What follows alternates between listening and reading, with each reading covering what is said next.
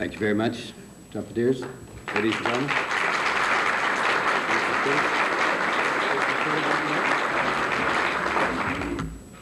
Jerry Dafoe, Executive Director of the Canadian Public Health Association, opening the first international conference on health promotion, which was held in Ottawa, Canada, between the 17th and 21st of November 1986. The conference was organized jointly by the World Health Organization, Health and Welfare Canada, and the Canadian Public Health Association, and brought together more than 200 participants from 38 countries. The speakers included Canadian National Health and Welfare Minister, the Honourable Kapp, and the Director General of the Health Promotion Directorate of Health and Welfare Canada, Ron Draper. From WHO came European Regional Director, Dr. Jo Asvall, European Regional Officer for Health Promotion, Dr. Ilona Kickbusch, and WHO Director General, Dr. Halfdan Mahler, who outlined the historical and contemporary significance of the gathering. I think go right back to the Alma-Ata conference on primary health care, where for the first time you got really a kind of a rediscovery of what I would call an old forgotten melody.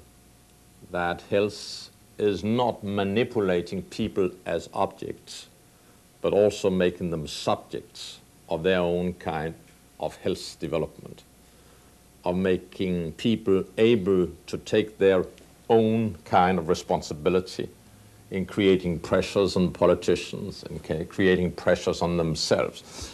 So this came up in the debate, uh, community participation, all kinds of fanciful words of, of, of different kinds, practiced differently in different uh, countries. But I believe it took us a number of years after the Alma-Ata where most people were sneering cynics, saying, you know, people are people are people, you know, don't come and tell me this crap that you can, somehow you can enable people to take their own health, health destiny into their own hands.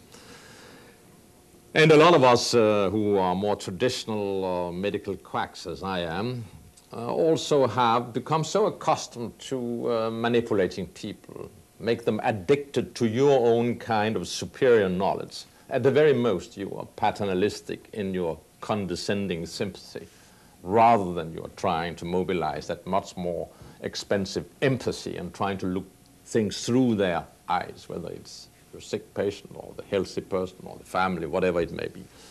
So quite a number of years after Alma-Ata went by somehow where, well, you know, we keep the old reflexes after all kept on manifesting themselves. And then more and more people here and there in, came forward with lots of the experience of groups in the 60s who somehow had taken upon themselves self-helping and trying to ask themselves question, well, if we can't get it from these rotten kind of medical repair services we are, have here, let's better have our own kind of creativity and see whether we can help each other.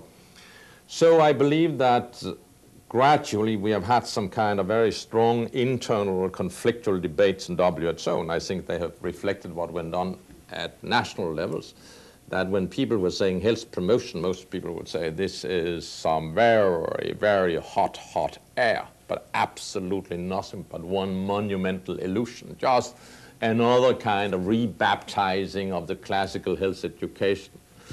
So for me, the real significance is that slowly but consistently, we have been trying to build up a body of conviction that it is not bluff when we are speaking about a new era in health, a new era in public health, or whatever you prefer and that health promotion just conceivably might become the important lever for making a radical change in the way everybody is looking at health as you move towards the end of the century. So I see this as a milestone where we try to take stock, try to call the bluff. Indeed, I hope that will also take place in this conference, but also try to come out at the other end with a very, very solid kind of feeling there's a good deal of concrete things we can do now and then we can develop over the coming years and which with reasonable kind of confidence can be given the name health promotion as distinct from the conventional disease prevention and certainly as distinct from the conventional cure and rehabilitation. Over the days of the conference, participants from 50 countries shared their experience, talked, debated, exercised, learned about a wide variety of community-based initiatives, and hammered out a charter which clarified key concepts, highlighted the conditions and resources required for health, and identified key actions and strategies needed to pursue health for all. The Ottawa Charter called for building healthy public policy, creating supportive environments, strengthening community action, developing personal skills, and reorienting health services. This, ladies and gentlemen, was the Ottawa Charter. Over the past 25 years, the Charter has had a profound effect on public health and the world.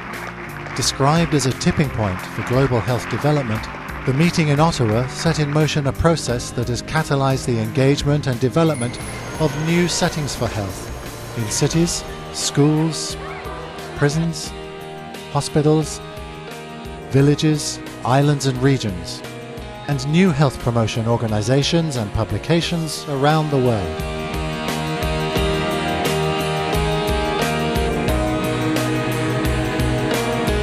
It has stimulated research and advocacy action that has enhanced public health's evidence base, reach, and political influence. Since Ottawa, WHO and national governments have organised a series of conferences that have addressed and adapted each of Ottawa's five action areas to changing global, regional, and national contexts, challenges, and opportunities.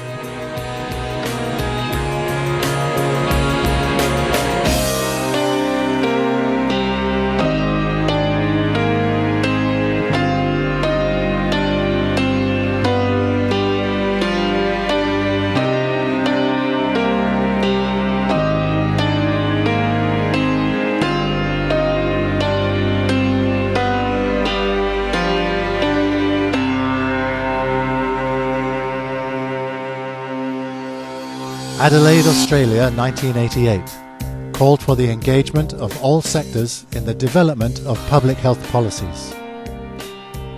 Sundsvall, Sweden, 1991, looked at ways to address changing social, political, and economic environments and called for sustainable development approaches which informed the Rio Conference and Agenda 21 soon after. Jakarta, Indonesia, 1997 the first of four conferences in the developing world, looked at new players, addressed issues relating to globalization and partnership. In Mexico City, Mexico, 2000, health equity was the focus. In Bangkok, Thailand, 2005, the social determinants of health. And in Nairobi, Kenya, 2009, health and development issues took center stage. Plans for the 8th conference in Helsinki 2013 call for a focus on practical ways to develop and implement effective health in all policies approaches. Since Ottawa, there have been major and diverse shifts in thinking, policy, and action for better health in Europe and beyond at all levels.